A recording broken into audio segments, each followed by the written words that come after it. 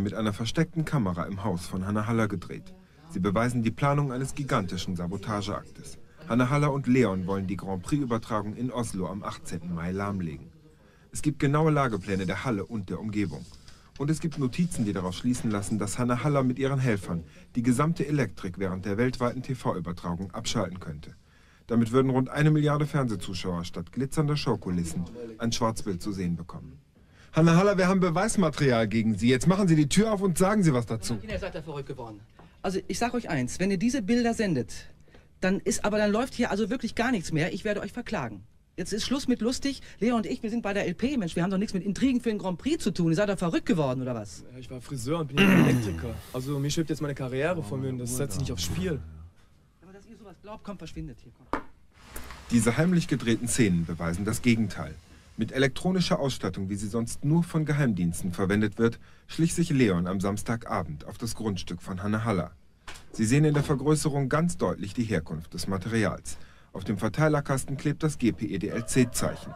Diese Ausstattung ist nur auf dem internationalen Schwarzmarkt erhältlich und bedient werden kann die Anlage nur von Fachmännern. Also bitte, wir sind Tag und Nacht Ich im im Moment Studio und arbeiten hier an dem Album. schön ist, da ist überhaupt keine Zeit, irgendwas Nee, zu machen. Bild, Da ist irgendjemand, der will das Was soll der das Hanne und dem ah, Leon da unten. in die Schuhe ja, schieben. Ist da also, ein Bild. Da ich weiß Mensch, nicht, was ich dazu den sagen soll. Rundfunk auf dem Mikrofon. Wir können beweisen, dass auch Frank von dem Bottenberg lügt. Ja. Der Toningenieur hat auf einem Parkplatz in Baldheim bei Herr München Wirtz, von einer? Hightech-Dealerin aus der Schweiz Spezialstecker und Lötkolben erstanden, die von Metalldetektoren auf Flughäfen nicht entdeckt werden können. Hanna Haller, wir glauben, dass der Tonmeister hier das ganze Material versteckt hat. Ach, habt doch einen Herr Knall. Wirtz, hören Sie mich? Herr Wirtz, Das ist doch, hören Sie mich? ist doch ein Blödsinn, Menschenskind. Komm, wir haben so Nee, gut nicht hören, zusammengearbeitet. Und jetzt ja macht ihr hier so ein Ohr. Blöds. Ich hol die Polizei. Aber ich sag's ihm dir. doch mal, dass er Wirklich einen. Schlips hochziehen Das sind soll. Das sieht ja. Komm, furchtbar haut ab aus. hier. Komm, haut ab hier. Weg. Er sieht ja aus wie ein Demonstrant. Leon war mit seinem blauen Planeten gerade auf dem Weg in die Charts. Ja. Nachdem Brisant nun das gesamte Beweismaterial veröffentlicht hat, steht einer Verhaftung des Gangsterpärchens nichts mehr im Wege. Die Sicherheitsmaßnahmen in Oslo sollen dramatisch verstärkt werden, um die TV-Übertragung des Grand Prix unter allen Umständen zu gewährleisten. Seit einem halben Jahr arbeiten Cheyenne und Glenn Peniston alias Stone Stone an ihrer neuen LP. Mit ihrem Song Verliebt in dich wollen sie neue Farbe in die sonst so triste Schlagerwelt bringen. Lange rauchten ihre Köpfe um ihr Lieblingslied Oh Lord I Realized It's You extra für den Grand Prix ins Deutsche zu übersetzen. Cheyenne steht privat zwar lieber hinter der Kamera, bei den Dreharbeiten für ihr Video, aber inszenierte sie ein wahres Feuerwerk der Liebe. Das erwartet uns hoffentlich auch am 13. Mai in Dublin, wenn Verliebt in dich der Jury vorgestellt wird.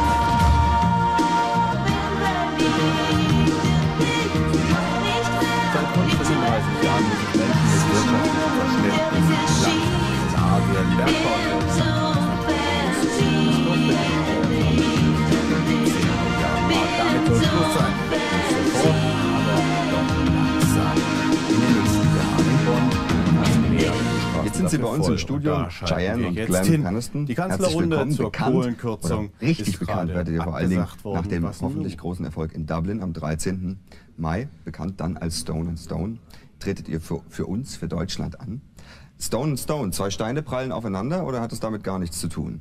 Das hat damit gar nichts zu tun. Stone and Stone kam von Pen and Stone. Paula, Emil, Nordmund, Nordmund, Ida weggelassen und dann so entstanden Stone and Stone. So einfach kann das Leben Ja. manchmal sein. Aber der Traum wird ja nun wahr, ihr tretet an beim Grand Prix d'Eurovision. Ist es wirklich ein Traum gewesen für euch? Ja, so wollen wir das jetzt mal nicht sagen. Wenn ihr jetzt nach Dublin fahrt, ihr kennt ja, ich glaube, die Titel der Konkurrenten schon. Ja. Oder, oder viele zumindest davon. Alle, Alle. alle. Und äh, so ein kleiner Tipp, Austria, so- Ja? 12 points. wirklich? Na, wie sind unsere Chancen? Eure, unsere. Wir kommen gar nicht erst in die Nähe, irgendwelche Erwartungen oder Chancen auszurichten. Das machen wir nicht. Mhm. Es ist kein typischer Grand Prix-Titel dieses Mal. Ähm, es ist eigen, gewöhnungsbedürftig, denn es unterscheidet sich sehr von den anderen Dingen, die im Moment draußen sind am Markt. Äh, Deutsch, Englisch, egal. Und äh, die anderen äh, Sachen, die wir gehört haben, so die anderen Länder, sind schon einige dabei, die uns sehr gut gefallen. Fühlt ihr euch wohl in diesem Kreis der Kollegen, die da auch antreten? Denn der Grand Prix, der galt ja mal so ein bisschen als verzopft vor einigen Jahren noch. Das hat sich ja sehr geändert, was da auch ins Rennen geschickt wird. Ja, also finde ich sogar gut. England rappt, finde ich super. Die trauen sich was. das gefällt mir. Aber ich meine, das hat nichts mehr mit Grand Prix zu tun. Ja, es ist schon sehr modern geworden. Ist auch okay, denn die ganze Jugend, ich meine, das ist nicht mehr diese Schlagersache wie vor 10 oder 15 Jahren. Es hat sich schon geändert, aber naja, zu progressiv ist auch nicht gut. Dann ist es kein Schlagerfestival mehr. Ist ja eine Schlagerolympiade eigentlich. Also ich drücke euch heftig die Daumen Das können wir brauchen. und bedanke mich, dass ihr bei uns wart. Wir Danke. danken. Vielen Dank.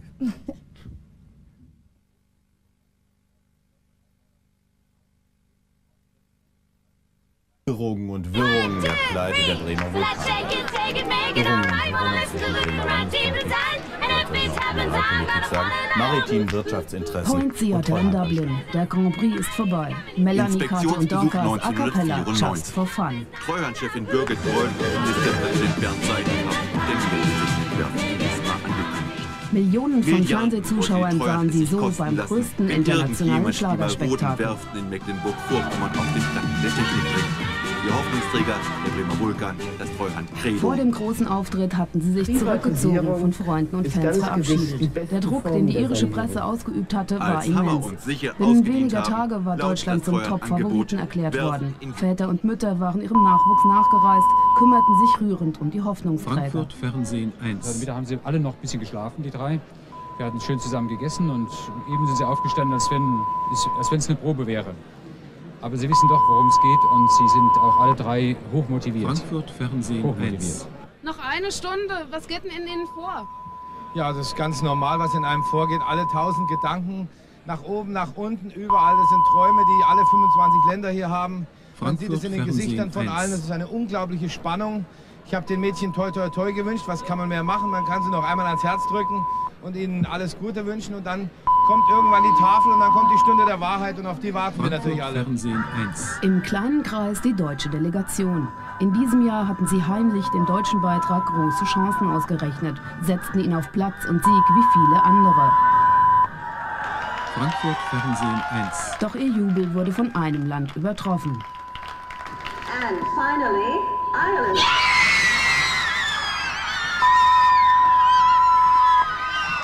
Frankfurt Fernsehen 1. I'm only 62. I was 16 and so were you. I'm Frankfurt Fernsehen 1. Dritter Platz für das deutsche Trio, nur Polen war besser.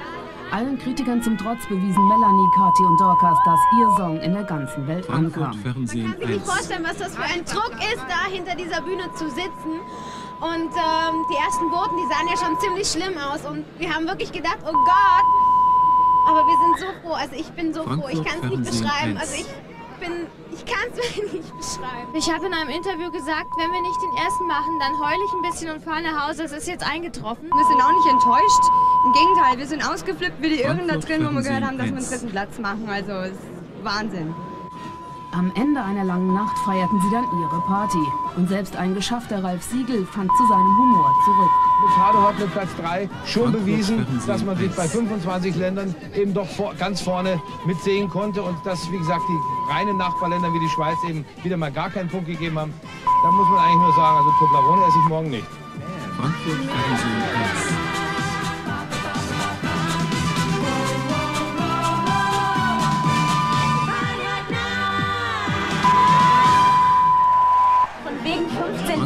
25. Platz.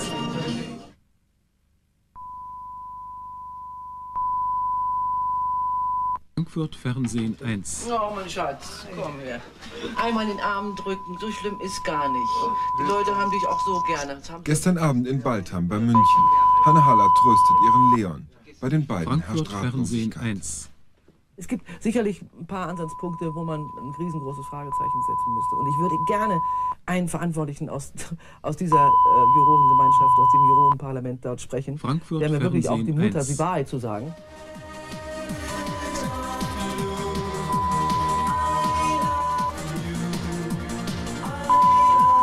Eine Geschmacksentscheidung des 224 Frankfurt Köpfe zählenden 1. Grand Prix-Parlaments scheint unwahrscheinlich. Denn der Titel war ja die Sensation bei der Vorausscheidung. Hier sollte wohl Deutschland als Land bestraft werden. Man kommt schon auf Frankfurt den Gedanken, was man ja. Fernsehen 1. Ich habe ja Grand Prix schon mal mitgemacht, 1985 mit Gruppe Wind. Und da haben wir doch einen sehr politischen, angehauchten Grand Prix erlebt. Wir haben zum Beispiel erlebt, dass auf den Schlagseiten, so wie die Bildzeitung bei uns ist, äh, vorne drauf ein Frankfurt Hakenkreuz war Fernsehen und äh, 1. Gruppe Wind, wer ist euer Führer und sowas kam, passierte. Also es geht offensichtlich nicht nur allein um Musik. Nicht? Ich frage mich nur, ob sie sich das leisten können. Deutschland ist einer der größten, äh, wenn nicht der große Markt zum Verkaufen. Frankfurt das. Fernsehen 1. Jürgen Göbel alias Leon hatte gerade seinen Job als Friseur gekündigt. Hier im Salon hat ihn auch die Hiobsbotschaft vom Rausschmiss seines Liedes erreicht. In der Arbeit noch. Hat mich Hanna angerufen. Frankfurt Aber da war ich Fernsehen schon fertig, 1. Gott sei Dank, mit den Kunden. Viertel nach sechs. Und das war dein letzter Arbeitstag? So, mein auch? letzter Arbeitstag Ja. auch noch dazu, ja. Generell, das war ein feiner Abschied. So Ja. mit, mit Kerzleins hast du gesagt und Ja, ja, zur wir haben dann nachher noch ein und so. bisschen Abschied gefeiert, noch mit Kerzen. bisschen Frankfurt Fernsehen und dann- 1. Nein, es war, war bitter. Trotzdem produzieren Leon und Hanne Haller mit ihrem Team auf Hochtouren an einer LP. Denn gerade durch den Rausschmiss Deutschlands steigt das Interesse an Leon. Frankfurt Fernsehen Okay, 1. Es wird halt jetzt mehr geredet, das ist halt das aktuelle Thema, weil es dann mich nicht nur betrifft, weil es ja auch ganz Deutschland betrifft. Deswegen ist schon mehr jetzt auch von der Presse her Interesse dann auch. Ne? Frankfurt Fernsehen 1. Für die Musiker, die jetzt seit Wochen in Hannes Keller sitzen und produzieren, ist es trotzdem frustrierend. Wir haben uns alle Mühe gegeben. Ich habe mich riesig gefreut, dass wir so weit gekommen sind. Das ist ja ganz schwierig, dass man so weit Frankfurt kommt Fernsehen überhaupt. 1. Und dann sowas, also ist schon richtig ärgerlich, oder? Ja, ja, dasselbe. Man macht und macht und dann kommt sowas dabei raus. Ne? Unglaublich. Ein Trostpflaster für den geschockten Haller-Clan. Die ARD hat versprochen, in der Frankfurt Pause der Grand Prix-Übertragung Leons Titel einzuspielen. Dann werden wir wissen, warum Deutschland rausgeflogen ist.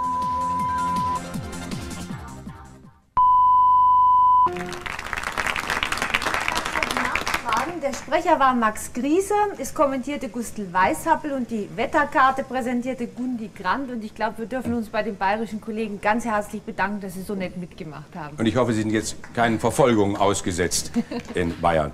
Aber ich weiß, dass Sie Bayern-Humor haben, weil ich oft da bin. Nun, meine Damen und Herren, warum soll man nicht auch einmal einen hauseigenen Wunsch erfüllen? Besonders wenn ich weiß, dass es Ihnen auch Freude machen wird und besonders wenn ich weiß, dass es notwendig ist, in einer Unterhaltungssendung jetzt das vorzustellen, was wir wollen. Unser Programmdirektor hat auch mal einen Wunsch gehabt und wir haben ihm diesen Wunsch erfüllt. Sie wissen, oder Sie wissen nicht, ich sage es Ihnen, am 2. April ist in London der Grand Prix Eurovision, also der, das große Ereignis, wo wieder der Schlager, das Lied, das Chanson, wie immer Sie es nennen wollen, preisgekrönt werden wird. Wir sind diesmal dabei mit einem Beitrag von Sylvester Levay, mit dem Texter Michael Kunze, der auch der Produzent ist dieser Aufnahme. Und wenn ich sage Silvester, dann wissen die ganz Eingeweihten, Silvester Levay, dann heißt das Trio, das jetzt singen wird, das ist die Ramona und die Ronda und die Penny, dann heißen die, abgeleitet von Silvester, nämlich Silver Convention. Bitte?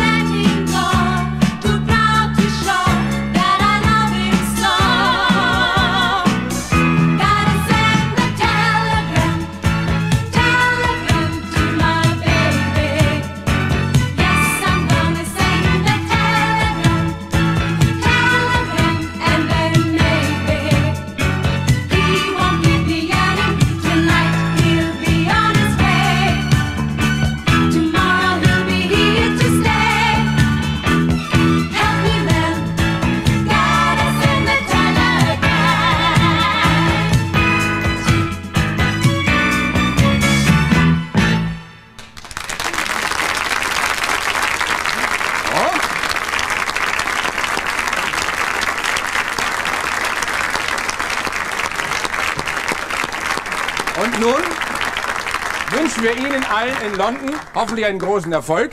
Sie haben es gehört, der Titel heißt Telegram, zu Deutsch Telegramm. Und ich hoffentlich kriegen wir dann auch ein entsprechendes Telegramm, dass Sie sich gut platziert haben am 2. April in London beim Grand Prix Eurovision. Na?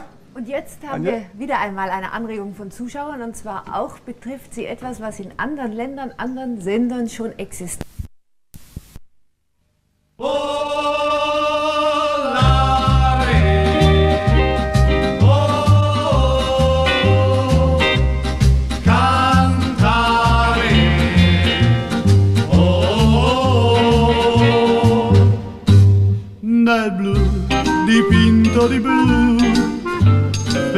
felice di stare lassù. E volavo, volavo felice più in alto del cielo ed ancora più in su, mentre il mondo pian piano spariva lontano laggiù. Una musica dolce suonava soltanto per me.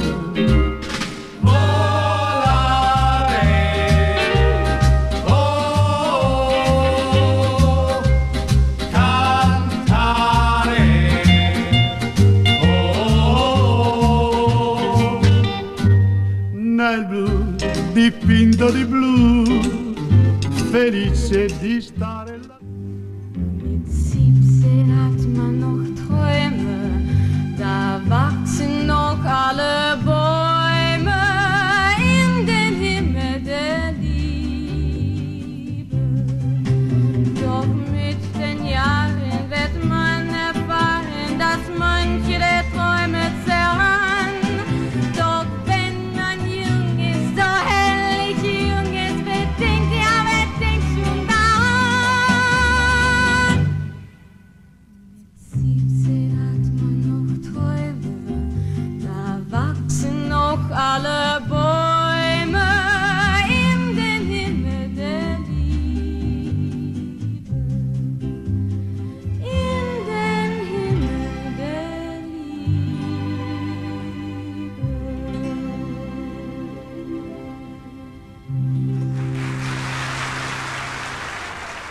Der Siegesschlager ist gefunden. Die 17-jährige Amerikanerin Peggy March hatte nicht umsonst geträumt und sie hatte auch noch Glück. Einen Monat später wäre sie 18 geworden. Den zweiten Platz errang eine Norwegerin, den dritten die schwedische Siegerin des Vorjahres. Die erste deutsche Sängerin landete auf dem fünften Platz. Deutsche Schlagerfestspiele 1965. Blumen für Peggy, Medaillen für die Herren. Für sie wird das Schlagerfestival veranstaltet, für die Komponisten und Texter. Die Medaillen sind nur symbolisch gemeint, denn hier geht es nicht um Musik und Ehren, sondern um Geld, um viel Geld.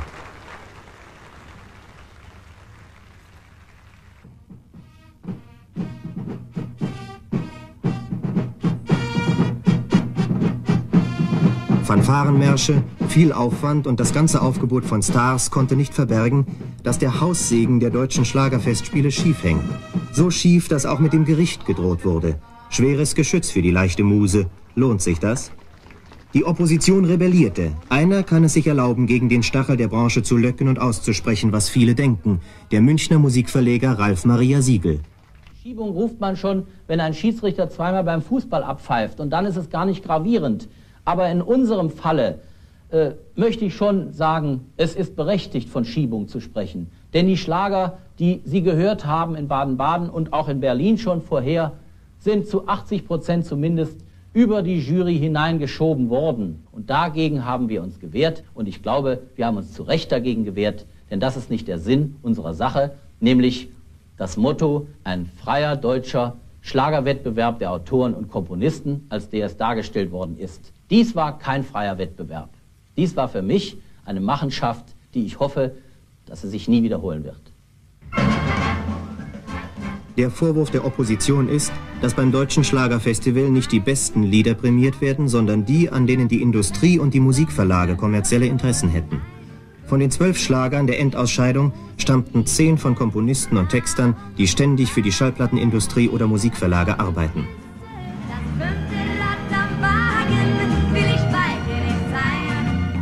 Steve Malmquist zum Beispiel ist Star der Plattenfirma Metronom. Ihr Festivalschlager stammt von Christian Brun. Brun ist nicht nur Komponist, er war auch Produzent von Steve Malmquist bei Metronom. Inzwischen arbeitet er für die Firma Ariola mit ähnlichem Erfolg. Zwei Ariola-Schlager von Brun kamen in die Endausscheidung. Dieser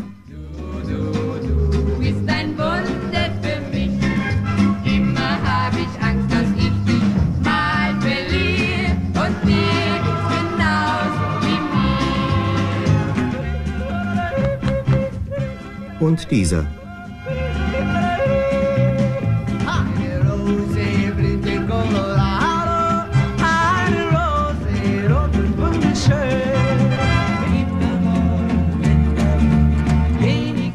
Das Beispiel Philips ist kaum anders.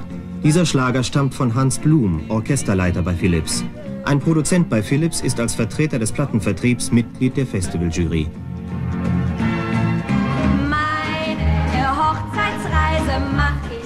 Von den vier Schlagern, die Elektrola für die Vorausscheidung produzierte, stammten alle vier von Mitarbeitern der Firma.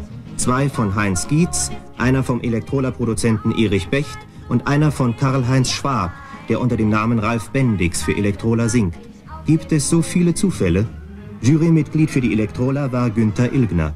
Diese Autoren sind keine Angestellten der Firma, sie sind freie Autoren, die aber ohne Zweifel mit uns seit langem in geschäftlicher Verbindung stehen. Nicht nur diese, sondern viele andere Autoren. Und das trifft zu. Aber auf der anderen Seite ist es natürlich naheliegend, dass Autoren, die mit den Künstlern arbeiten, für die Künstler arbeiten und produzieren, die bei unserem Haus unter Vertrag sind, natürlich auch ihr Handwerk so weit beherrschen, dass sie sich bei den deutschen Schlagerfestspielen für diese Autoren mit einem Titel beteiligen.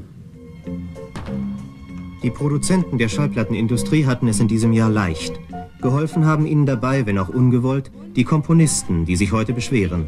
Sie verlangten, dass die Namen der Festivalsänger vorher bekannt gegeben werden, damit sie ihnen die Musik auf den Leib schreiben konnten.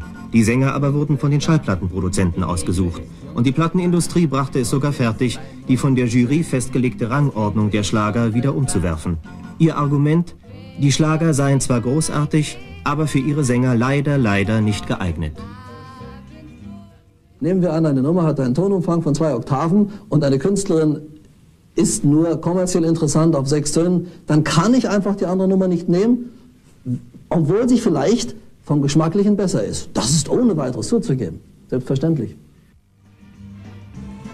Vielleicht sind sechs Töne eine ganze Menge, aber reichen sie für ein Schlagerfestival? Muss der Festivalverein sich mit den von der Industrie angebotenen sechs Tönen zufrieden geben? Die Interpreten sind meist exklusiv gebunden.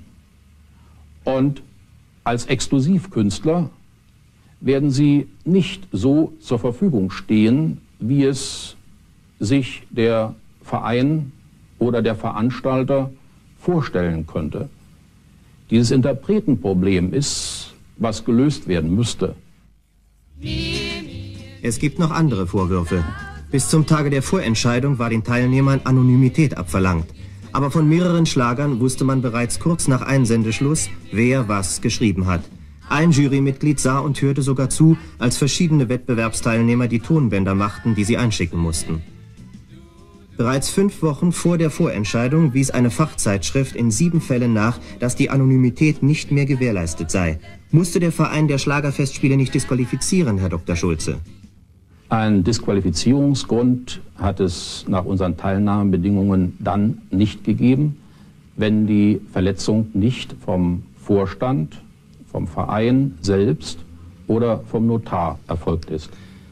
Dass der Urheber, der selbst die Anonymität aufgegeben hat, einen Vorteil gegenüber seinem Kollegen gehabt haben soll, möchte ich bezweifeln. Auch die Propagierung von Titeln ist bis zur Ausscheidung verboten. Trotzdem erschien dieses Inserat eine Woche vor der Ausscheidung. Festspieltitel in unserer Branche heißt aber nicht etwa nur die Überschrift des Schlagers, sondern der Schlager seinem Inhalte nach. Wenn wir die Inserate auch hätten ausschließen wollen, die lediglich die Überschrift des Schlagers, also die Titelangabe enthalten, ohne Urheberangaben, dann hätte nach dem juristischen Rat unseres Rechtsberaters das Inserat ausdrücklich in den Teilnahmebedingungen erwähnt werden müssen. Reklame und Inserate sind also keine Propagierung. Kein Wunder, wenn diese Auslegung, die von dieser Pressekonferenz ohne Widerspruch akzeptiert wurde, die Kritik nicht verstummen ließ. Sie passt auch eher in ein Quiz als in den Catch as Catch Can, der um die Schlagerfestspiele in diesem Jahr entstanden ist. Da aber auch die Kritiker sich vorsichtigerweise hüteten, Namen zu nennen, konnte der Rechtsvertreter des Vereins Dr. Haufe feststellen, Es hat sich niemand gefunden, der bereit gewesen wäre, einmal einen Einsender namhaft zu machen und ein Jurymitglied namhaft zu machen und zu behaupten, dass zwischen diesen beiden ein nach der Satzung unzulässiger Kontakt bestanden hätte. Diese Untersuchung kann ich mir bis zum heutigen Tage gar nicht vorstellen. Denn auf der einen Seite hat sich der Verein der Schlagerfestspiele immer dahinter verschanzt, dass man gar nichts untersuchen könnte, weil nämlich die Anonymität der Autoren gewahrt bleiben müsse, zumindest bis zur Endausscheidung. Auf der anderen Seite aber hat er dann behauptet, wir haben alles untersucht und es ist alles grundlos. Ich muss Ihnen ehrlich sagen, ich weiß gar nicht, was er untersucht hat. Dabei sah alles so korrekt aus. Und die Entscheidung um die letzten zwölf Schlager war sogar öffentlich. In den Funkhäusern tagten Jurys, Meinungsforscher wurden bemüht und auch im Saal wurden Stimmen gesammelt. Um die Endausscheidung gibt es keine Auseinandersetzungen. Umso mehr aber über alles, was vorher war. Um einen Schlager unter die letzten 44 zu bringen, waren vier Stimmen erforderlich. Eine Ahnenforschung, die die Opposition bei einigen Jurymitgliedern anstellte, brachte interessante Verbindungen zutage. Von 13 Jurystimmen hatte eine die Schallplattenproduktion, eine andere der Schallplattenvertrieb, also auch die Industrie. Ein drittes Jurymitglied ist über einen Musikverlagskonzern mit dem Produzenten einer Schallplattenfirma geschäftlich verschwägert und ein viertes Mitglied steht über das gleiche Verlagsunternehmen in ähnlicher Geschäftsverwandtschaft mit der Industrie. Gewiss, die Opposition war vorsichtig genug, nicht zu behaupten, dass sich die Industrieteams auf diese Weise durchsetzten. Die Klärung dieser Frage ist schwer, denn die Jury kann nicht sagen, welches Jurymitglied welchem Schlager seine Stimme eigentlich gegeben hat. Der Verein sagt heute, das habe er alles nicht gewusst und man muss es ihm wohl auch glauben. Mit Sicherheit hat aber die Schallplattenindustrie gewusst, was sie auf dem Festival wollte. Ihre Schlager und ihre Schallplatten verkaufen. Weder Festivalverein noch Jury sind sich bis heute darüber klar, wie der Schlager überhaupt aussehen soll, den man sucht. Die Industrie aber weiß genau, womit sie Geld verdient.